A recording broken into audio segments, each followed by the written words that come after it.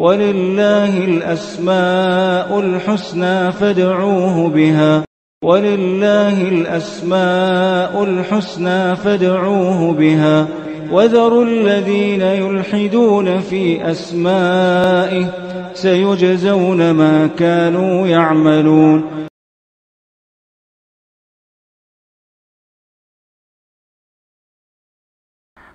بسم الله الرحمن الرحيم. الحمد لله رب العالمين، وبه نستعين. وصلى الله وسلم على سيد الأنبياء والمرسلين وعلى آله وأصحابه أجمعين ومن تبعهم بإحسان إلى يوم الدين، أما بعد. آج کی اس نشست میں انشاءاللہ اللہ سبحانہ و تعالیٰ کی صفات علیہ میں سے المستعان اس سے متعلق پڑھیں گے انشاءاللہ. اللہ سبحانہ و تعالیٰ کی صفات سے متعلق میں ہر درس کے آغاز میں ایک تنبیہ کرتا ہوں کہ جو ہے ہم ہند، ہندوستان میں رہتے ہیں اور ہمارے اس ملک، ہمارے قرب و جوار میں، بلکہ سعودی عرب کو چھوڑ کر کے دور حاضر میں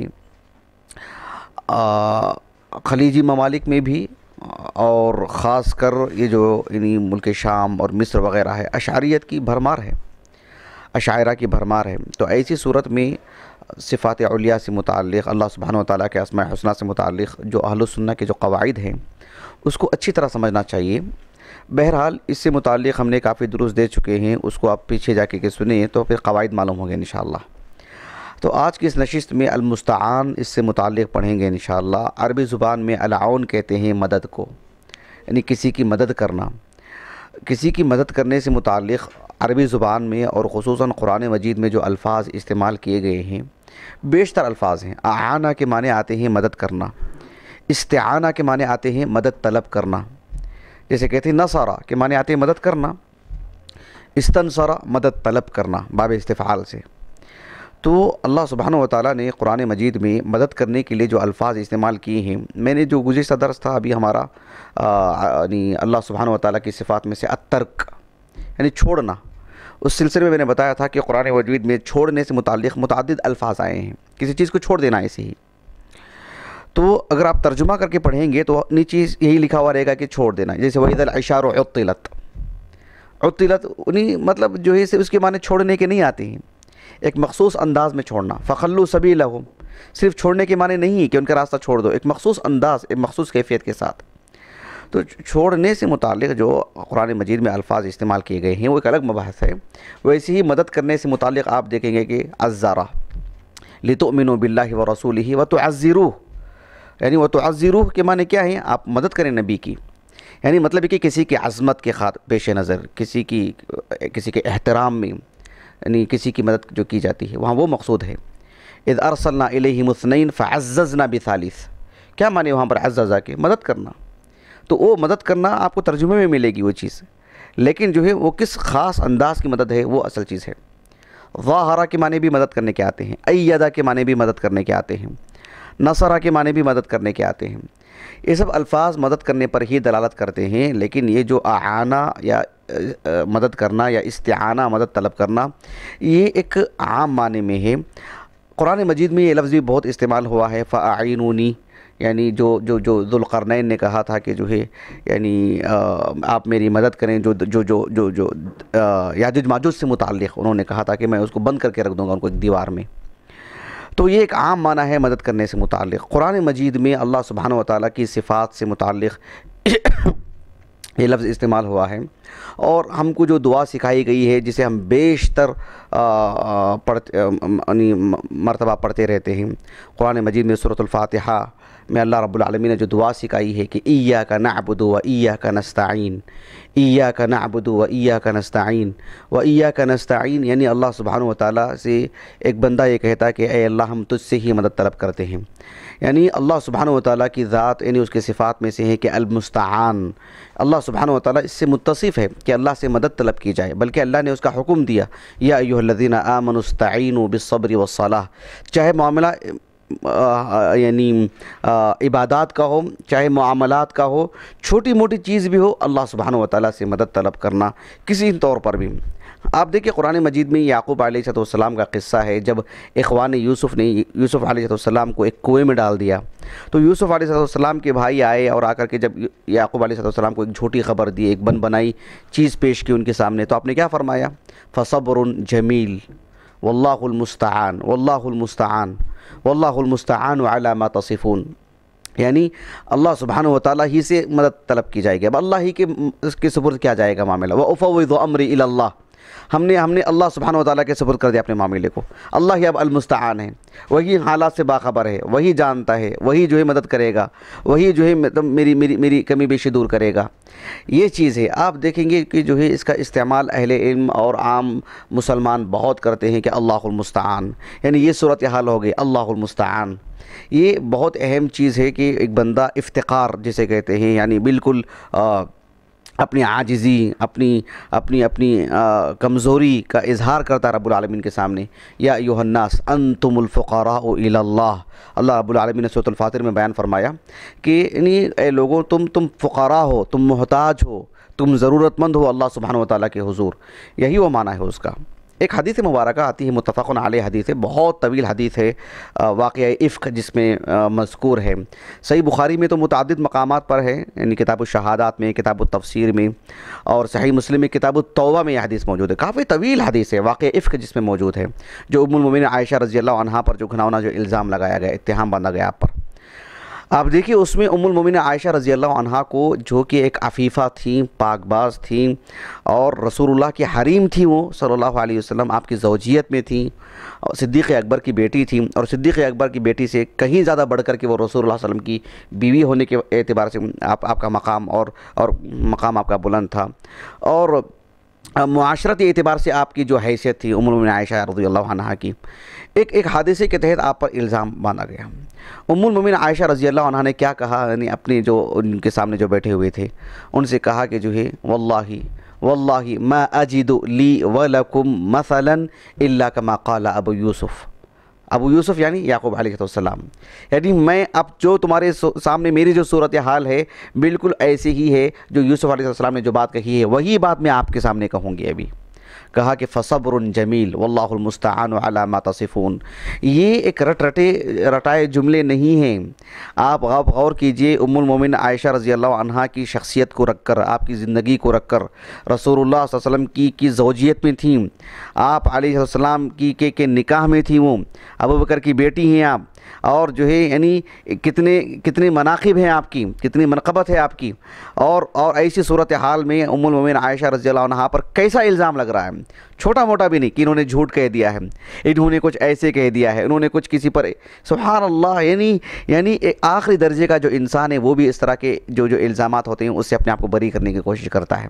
چاہے جائے کہ ام المومن عائشہ رضی اللہ عنہ وہ وہ یعنی کس پوزیشن میں ہیں؟ ان کی زبان سے الفاظ نکل رہے ہیں۔ اللہ کا مقال ابو یوسف۔ جیسے کہ یعقوب علیہ السلام نے کہا، میں وہی بات کہوں گی۔ یعنی یہ چھوٹے جملے نہیں ہیں۔ فصبر جمیل، اس صبر پہ اترنا اور جو ہے واللہ المستعان کہنا تو اللہ کی مدد آئے گی اور آئی اللہ کی مدد ایسی کہ جو آیتیں نازل ہو گئے یہاں پر۔ کس قدر حسن زن ان کہا ان کو اللہ پر؟ سبحان اللہ اس دور کے اعتبار سے کوئی کوئی خطوط پہنچانے کا بھی دور نہیں ہے، اور جو ہے مواصلات کا دور نہیں ہے۔ کنویں میں ڈال دیا گیا ہے یوسف علیہ السلام کو۔ کہاں وہ عزیز مصر بنے؟ کیسے اللہ نے جوڑا آپ کو؟ تو یہ جو میں آپ کو کہنا چاہ رہا ہوں کہ اللہ کی ایک صفت ہے المستعان، ایک ممباب الاخبار میں آپ کو کہہ دوں اور آپ کے علم میں اضافہ ہو جائے، میرے علم میں اضافہ ہو جائے اور اب درس بند کر دیں، یہ مقصود ہے اس کا؟ نہیں۔ یہ کہنا میں چاہ رہا ہوں کہ یعقوب علیہ السلام کی صورتحال دیکھیے۔ آپ نے کہا اللہ اللہ المستعان، تو کیسے کیسے کیسے اللہ نے آپ کو آپ کو پہنچائے ان کے بیٹے کے تک؟ کیسے جوڑا ان کو؟ کیسے آخری دنوں میں ملے آپ؟ نہیں، ایسے معلوم ہوتا کہ کوئی فلمی انداز ہے۔ کیسے جوڑا گیا آپ کو؟ اللہ اکبر، سبحان اللہ العظیم۔ آپ دیکھیں عموم میں عائشہ رضی اللہ عنہ پر کیسے الزام لگا؟ لیکن آپ نے کہا کہ وہ اللہ المستعان۔ یہ دور حاضر کی بھی بات ہے، میرے اور آپ کے لیے بھی۔ ہم ہمارے لیے کیسے کیسے مشاکل آتے ہیں؟ کیسے کیسے سنگین چیزوں سے انسان دو چار ہوتا ہے؟ ایسے میں ہمت ہارے بغیر، یقیناً دکھ ہوتا ہے، تکلیف ہوتی ہے، آنکھوں سے آنسو نکلتی ہیں، غم زدہ ہو جاتا آدمی۔ عمر عائشہ کے آنکھوں سے آنکھوں سے جو آنسو نکلے، کہا کہ انہوں نے اب ایک آنسو بھی باقی نہیں رہا ابھی ان کے۔ ایسے الفاظ آتے ہیں خود صحیح بخاری کے اندر یعنی اس حدیث کے اندر۔ میں نے ایک چیز ایسی نوٹ کیا تھا یعنی اس سے قبل بھی جو ہے کسی درس میں اس حدیث کو میں نے پیش کیا تھا، لیکن دوسرے ایک موضوع کے تحت آپ غور کیجیے گا کہ جو ان الذین جاؤ بالعفق عصبۃ منکم کہا قرآن نے۔ یعنی ام المؤمنین عائشہ رضی اللہ عنہ پر جو الزام لگائے تھے، وہ ایک جماعت تھی وہ، ایک جماعت کا کام تھا۔ یعنی اللہ اللہ تعالیٰ نے کہا کہ ان الذین جاؤ بالعفق الفق کہا قرآن نے اس کو۔ یعنی ایک ایک اس حادثے کو جو انہوں نے الزام لگا افق یعنی ایک بن جو جو کہ واقعہ ہوا تھا، اس کو ایک انہوں نے جھوٹ جھوٹ جھوٹ جھوٹے انداز میں پیش کیا۔ میں جو سمجھانا چاہ رہا ہوں آپ کو، یہ جو ام المومن عائشہ کی جو برات ہے، ایک تو قرآن مجید کی آیتیں ہیں۔ دوسری بات یہ ہے کہ قرآن مجید کے وہ جو آیاتیں ہیں، وہ آپ پر ہی نازل ہوئی عموماً عائشہ ہی مراد ہیں اس سے۔ یہ یہ کیسے معلوم ہوا ہم کو؟ وہ صحیح بخاری کی حدیث سے۔ یعنی جس طرح سے دیکھیں، الجزاء من جنس العمل میں یہ کہنا چاہ رہا ہوں کہ جیسے ہوا، بالکل اس کا بدیل اللہ نے ویسے عطا کیا آپ کو۔ جھوٹوں کی ایک جماعت نے آپ پر الزام لگایا اور آپ کی برات کو اللہ سبحانہ و تعالیٰ نے آیتیں نازل کی قرآن مجید میں۔ اور قرآن مجید کو جو آیتیں ہیں، اس سے مراد عائشہ ہی ہیں، رضی اللہ عنہ، اس کا ذکر تو ہمیں صحیح میں ملتا ہے۔ جو جو کتب حدیثیہ کا سب سے اعلیٰ مقام ہے صحیح بخاری کے اندر کتب حدیثیہ میں۔ صحیح بخاری، صحیح مسلم کی حدیث ہے۔ اتنا ہی نہیں، آپ غور کیجیے آپ، کہ معمر ابن راشد الازدی رحمہ اللہ علماء بصرہ میں سے ہیں یمن میں رہے تھے آپ ایک زمانہ۔ ایک سو چون ہجری سے وفات ہے۔ کیسی شخصیت ہے؟ آپ اہل علم بولنے کی ضرورت نہیں ہے۔ دنیا کی چنندہ نایاب، نادر شخصیات میں سے ہیں۔ ثقہ، کتنے عظیم عالم دین ہیں۔ محمد بن راشد الازدین وہ اس حدیث کو بیان کرتے ہیں امام زہری سے، رحمہ اللہ۔ امام زہری امام زہری ہیں۔ الفاظ نہیں ہمارے پاس آپ کی تعریف میں۔ امام زہری، رحمہ اللہ، کس سے روایت کرتے ہیں؟ ایک ساتھ سعید بن مسیب سے، عروہ بن الزبیر سے اور عبید اللہ ابن عبداللہ ابن عطبہ ابن مسعود سے اور اور اور اور علقمہ بن وقاص سے۔ سب جو ہے کبار تابعین میں سے ہیں، سب جہابزہ ہیں، معروف علماء میں سے ہیں۔ یعنی یہ امام زہری بیک ان چاروں سے روایت کرتے ہیں اور وہ سب ام المومن عائشہ سے روایت کرتے ہیں۔ یعنی کس قدر ثقات رجال سے اللہ تعالیٰ نے آپ کی برات ہم تک پہنچائی دیکھے ایک جھوٹے لوگوں جھوٹے لوگوں کے مقابل۔ اللہ اکبر۔ یہ میں کہنا چاہ رہا ہوں آپ کو کہ فصبر جمیل، واللہ المستعان۔ ایک جھوٹے نے ہم پر الزام لگایا تو سچ سچے لوگوں کو ہمارے لیے کھڑا کرے گا رب العالمین۔ ان اللہ یدافع عن الذین آمنوا۔ اللہ تعالیٰ ہمارا دفاع کرتا ہے۔ تو اللہ سبحانہ و تعالیٰ المستعان ہے۔ اللہ سبحانہ و تعالیٰ سے مدد طلب کی جاتی ہے۔ ایک حدیث مبارکہ ہے جسے امام ابو داود رحمہ اللہ نے اپنی السنن کی کتاب الصلاح میں اس حدیث کو لے کر کے آئے ہیں۔ حدیث کے راوی معاذ بن جبل ہیں رضی اللہ عنہ، اس حدیث پر امام ابو داود نے سکوت اختیار کیا ہے، رحمہ اللہ، شیخ البانی رحمہ اللہ نے اس حدیث کو صحیح کہا ہے۔ حدیث کیا ہے؟ معاذ بن جبل رضی اللہ عنہ کہتے ہیں کہ آپ علیہ السلام نے دیکھیں سنیے یہاں پر، اللہ کے رسول نے کہا ان سے، اللہ اکبر۔ آپ آپ علیہ السلام نے ان کا ہاتھ پکڑا، معاذ بن جبل کا، اور کہا کہ یا معاذ، واللہ انی لأحبک، واللہ انی لأحبک، دو مرتبہ اللہ کے رسول نے کہا۔ معاذ بن جبل سے کہا اللہ کے رسول نے، صلی اللہ علیہ وسلم، جس بات کو آپ کہنے جا رہے ہیں، کس قدر متوجہ کروا رہے ہیں؟ آپ نے کہا کہ یا معاذ، انی لأوسیک میں تمہیں ایک بات کی وصیت کرتا ہوں۔ یعنی بہت ہی اہتمام کرنا اس بات پر۔ تاکیدی طور پر یہ بات میں کہہ رہا ہوں آپ سے۔ یہ کہا اللہ کے رسول نے ان کو صلی اللہ علیہ وسلم۔ کہا کہ لا تدعن فی دبوری کل صلاة تقول کہ یہ ہر فرض نماز کے بعد، فرض نمازوں کے بعد اس اس دعا کو پڑھنے سے کبھی کبھی چوک نہیں ہونی چاہیے۔ یہ دعا کبھی فوت نہیں ہونی چاہیے۔ کہا کہ اللہم اعنی رب رب رب اعنی علی ذکرک و شکرک و حسن عبادتک اعنی علی ذکرک یعنی یہ دعا سکھا رہے ہیں کہ اللہ سبحانہ وتعالی المستعان ہے، جس سے مدد طلب کی جاتی ہے۔ کہ اے اللہ، تیرے ذکر کی مجھے توفیق عطا فرما، مجھے قوت عطا فرما۔ حالانکہ ذکر کا تعلق کس سے ہے؟ بدنی عبادت ہے وہ، جس کے لیے کوئی مطلب صلاۃ القیام صلاۃ اللیل پڑھنے ہیں؟ نہیں۔ لیکن جو ہے، سبحان اللہ، ایک ایسی عظیم عبادت ہے، آدمی لیٹے لیٹے بھی پڑھ سکتا ہے، لیکن توفیق الہی کی ضرورت ہے۔ توفیق کی ضرورت ہے۔ بدنی عمل تو بہت دور کی بات، مالی عبادت تو بہت دور کی بات۔ آدمی رہتے سہتے چلتے پھرتے بھی جو السلام علیکم کہہ رہا ہے کہ وہ بھی کی عبادت ہے، زبانی عبادت ہے، ذکر ہے وہ۔ لیکن دیکھیں آئین اعلیٰ ذکر کیونکہ معمولی بات نہیں توفیق بہت بڑی چیز ہے۔ توفیق بہت بڑی چیز ہے۔ کہنے کو سبحان اللہ، آدمی کہتے رہتا نا، کسی چیز کو دیکھ لے کر سبحان اللہ، نکل جاتا ہے زبان سے۔ لیکن وہی کلمات شعور سے نکلتے ہیں جو ایک عبادت بن کر کے، تو پھر وہ وہ اصل چیز ہے، وہ توفیق کی ضرورت ہے رب العالمین کی۔ کہا کہ رب اعنی علی ذکرک و شکرک و حسن عبادتک۔ یہ دعا سکھائی اللہ کے رسول نے۔ معاذ بن جبل نے رضی اللہ عنہ اس دعا کو جب اپنے شاگرد یعنی ابو ابو ابو عبداللہ الصنابحی رحمہ اللہ کبار تابعین میں سے ہی وہ تو ان کو جب اس حدیث کو سنا تو کہا کہ واللہ انی لعوسی کا بھی کہا کہ میں تم کو اس بات کی تاکید کرتا ہوں، جسے اللہ کے رسول نے مجھے سے کہا۔ انہوں نے اپنے شاگرد کو جو جو ابو عبد الرحمن یعنی ابو عبد الرحمن الحبلی کے نام سے یعنی جانے جاتے ہیں مطلب روایتوں میں ان کا نام تھا جو ہے عبداللہ ابن یزید، عبداللہ ابن یزید الصنعانی۔ عبداللہ ابن نزید السنانی السنانی نہیں تھے وہ السنانی نہیں تھے۔ ان کا انتقال ہوا تھا افریقہ میں، ایک سو ہجری سن وفات ہے ان کا۔ تو وہ ان کو جو ہے یہی بات کہی کہ واللہ انی لا اوسی کا بھی یعنی کون؟ ابو عبداللہ الصنابحی نے ان کو ایسی وصیت کی۔ یہ حدیث مسلسل میں جو ہے اس کو شمار کیا جاتا ہے جو حدیث مسلسل پر جو ہمارا مستقل درس ہوا تھا۔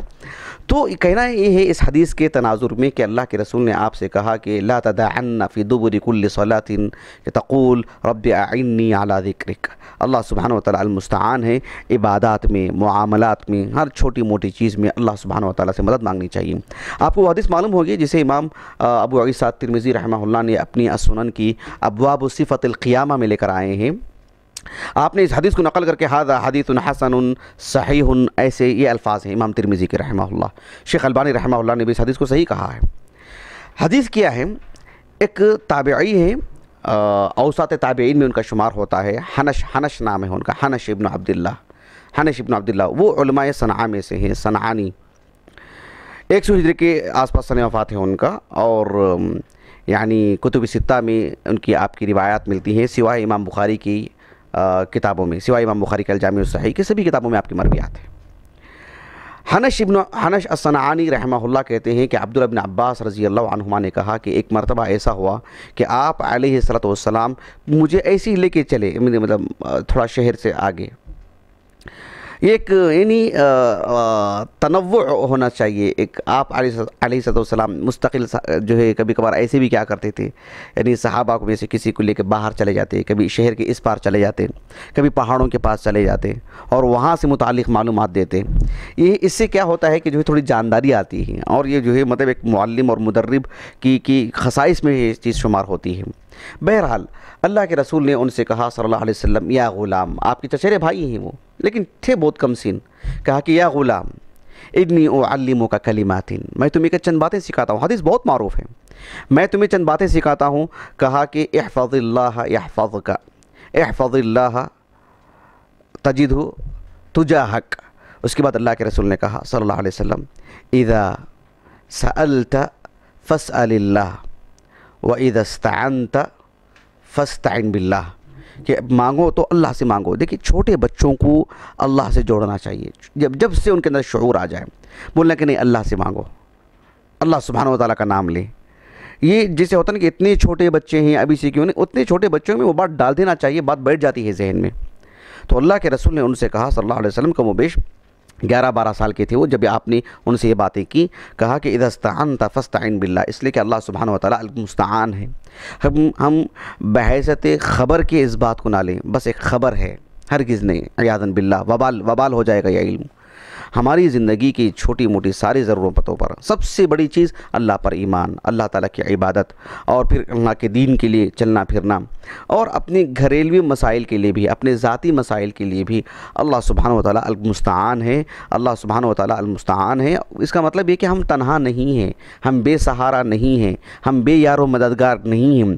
ہمارے پیچھے بہت بڑی طاقت ہے، جیسے ہم کہتے ہیں اللہ سبحانہ و تعالیٰ کی ذات، ہم یہ اللہ کے لیے نہیں کہہ رہا ہوں کہ ہمارے پیچھے بہت بڑی طاقت ہے، ہم ایسے الفاظ نہیں استعمال کریں گے میں کہنا چاہ رہا ہوں کہ جیسے ایک انسان اپنے لیے قوت محسوس کرتا ہے کہ میرے پیچھے طاقت ہے، میرا سپورٹ ہے، میرے لیے گھر کا سپورٹ ہے، میرے لیے دوستوں کا سپورٹ ہے، میرے لیے فلاں کا، یہ ہے، فلاں کا ہی۔ تو اللہ سبحانہ و تعالیٰ المستعان ہے تو گویا کہ ہمارے اندر جان آ جانی چاہیے حکمت آ جانی چاہیے، حوصلہ بڑھ جانا چاہیے، قوت محسوس ہونا چاہیے ہمارے اندر۔ یعنی یعنی یعنی نا امیدی نکل جانی چاہیے دل سے، اس لیے کہ اللہ سبحانہ و تعالیٰ المستعان ہے۔ بات کو ختم کرنے سے پہلے ایک بات آپ کے علم میں یہ لانا بہت ضروری سمجھتا ہوں کہ یعنی کچھ حضرات نے اللہ سبحانہ و تعالیٰ کے اسماء حسنہ میں المستعان کا ذکر کیا ہے۔ یہ درست نہیں ہے۔ المستعان اللہ تعالیٰ کے ناموں میں سے نہیں ہے۔ لیکن آپ دیکھیں گے کہ نیٹ کی دنیا میں آج کل یعنی جو تعبد والی جو بات آتی ہے، تعبد سمجھتے ہیں نا تعبد؟ یعنی اللہ سبحانہ و تعالیٰ کے اسماء حسنہ جو ہوتے ہیں، جیسے اللہ رب العالمین کا ایک نام ہے یعنی اللہ، الرحمن، الرحیم، الغفور الغفور الرزاق۔ تو اس کے ساتھ جو تعبد کے لیے جو ہے جو عبد لگایا جاتا ہے، عبد الرزاق، عبد اللہ، عبد الرحمن، عبد الرحیم، تو یہ صرف اللہ کے نام کے ساتھ لگایا جائے گا۔ اور اللہ سبحانہ و تعالیٰ کے جو نام ہیں، وہ توقیفیہ ہیں یعنی کتاب و سنت ثابت ہونا ان کا ضروری ہے۔ جو صفت ہوتی ہے اللہ تعالیٰ کی، اس کو نام نہیں بنایا جاتا۔ جو نام ہے اللہ تعالیٰ کا، وہ خود بخود اللہ تعالیٰ کی صفت ہے۔ لیکن اللہ کی کسی صفت کو رکھ کر اس کا اللہ کے لیے نام بنانا یہ مناسب نہیں ہے، یہ یہ غلط طریقہ ہے۔ تو اللہ سبحانہ و تعالیٰ کے اسماء حسنہ میں سے المعین ایسا نہیں ہے۔ بعض لوگ جو ہے عبد المعین نام رکھتے ہیں۔ آپ نیٹ کی دنیا میں جا کر کے دیکھیں عبد المعین نام رکھتے ہیں۔ عبد المعین درست نہیں ہے، معین اللہ تعالیٰ کے اسماء حسنہ میں سے نہیں ہے۔ یعنی کہیں بھی یہ ثابت نہیں ہے کہ اللہ سبحانہ و تعالیٰ کے اسماء حسنہ میں سے المعین ہو۔